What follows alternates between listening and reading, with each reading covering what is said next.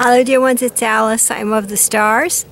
And I have uh, two additions to the section on subconscious metaphors and figures of speech and how the subconscious mind, when it comes into play instead of the conscious mind coming into play, begins to act out subconscious metaphors in a unique way that makes sense to, to it rather than to our conscious minds. Um,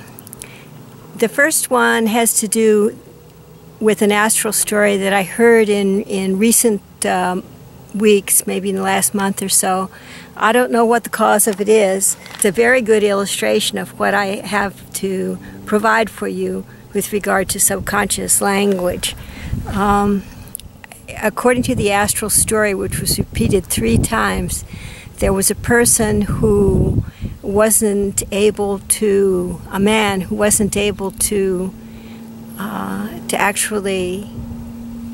perform the act of sex anymore, but he wanted to do that. And instead of performing the act of sex, he, he had in mind using a foreign object, what they say, it, instead of using the usual. Okay, so he would place ads in the personals and and have and, and entice young young people over, young men in this case, before the age of adulthood, and and he would ask them if he could put his screwdriver in their rectum. And they would somehow be thinking he was talking about the smooth end of the screwdriver, but instead, he uh, in two cases he he inserted the sharp end of the screwdriver and ripped up their uh, their intestines in the rectum area.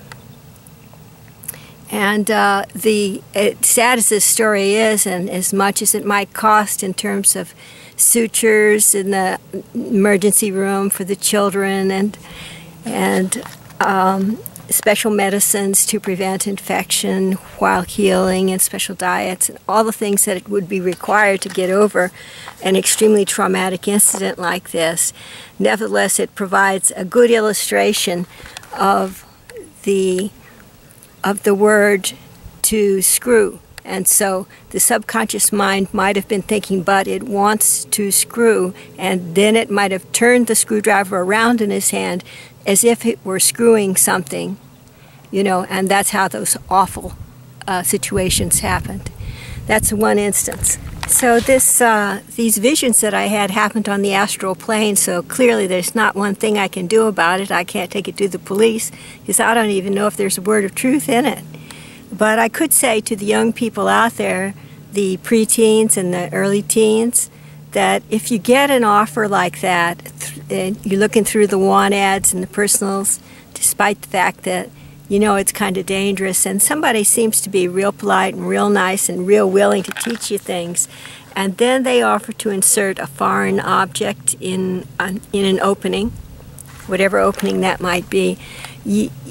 I would leave just then because according to the psychologists from what I've read people who insert foreign objects instead of doing the usual they, there's something wrong, like a psychosis or something like that, that makes it impossible for them to do that thing. For instance, I ran into someone on the physical plane uh, in the year 2020 who, who uh, he, I don't know why it was, but instead of, um, instead of being, he was unable to get himself or for some reason unable to perform as a man would perform in the act of sex, but instead he used a symbolic thing, an elongated object. Uh, instead of that, in a very dainty way, for instance, he would take his little finger like this, uh, the other hand, his little finger like this, and when the other person had their palm facing up like this, he would take his little finger and just tap it gently on that person's palm, and to him, for some reason, to his subconscious mind, that represented the act of sex. And uh, there was another instance that I, on the psychic plane, possibly with the same person or someone else, that I ran into, uh, where they, instead of uh, what they would use was a ballpoint pen with the cap still on it, and they would gently touch the area that that a, other, another person might think of to use for the act of sex, but instead they would use what is called a foreign object. There was yet another instance on the on the astral plane in a vision that I had of a of a man who, for because of a horrible childhood accident, and I've written about this before, um, was for some reason unable to commit to the act of sex, and instead he would he would spit on someone else, and that spitting, that act of spitting, was for him as if he had had the act of sex. Now, people like this uh, who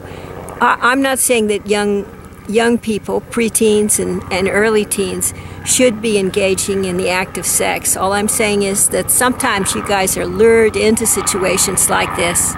with people who have what is called a psychosis. Then, from some reading that I've done in Wikipedia and WikiHow and like that, apparently the there are certain kinds of psychoses that result that if that are like a way of compensating for something some other thing some anxiety for instance say with regard to the act of sex and so if you interfere with those and try and change it to something more normal then there can erupt a great uh, a well of negative emotion, according to what I've read, that can result in violence to you. So, uh, in case, just in case this thing about penetration or even touching with a foreign object is like that, I would suggest for the young people, especially the young people of Los Angeles, young people anywhere in the United States, uh, uh, to understand that that the expression of these types of perversions uh, towards you as as someone that the person thinks might not know what they're up to, you know, might not understand what's going on, is is a potentially dangerous situation. I would suggest just leave right away. And in fact, I had another vision about a man, uh, a grown man that that first person lured in and then showed him the screwdriver and said, "Would you mind if I use this?" And this grown man who knew what was what was up and what was down said,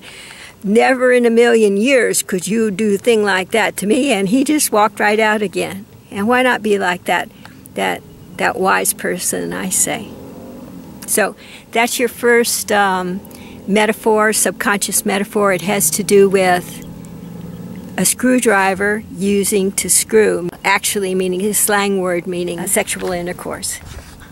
Now I have one more for you, but I'm going to start it on a new video.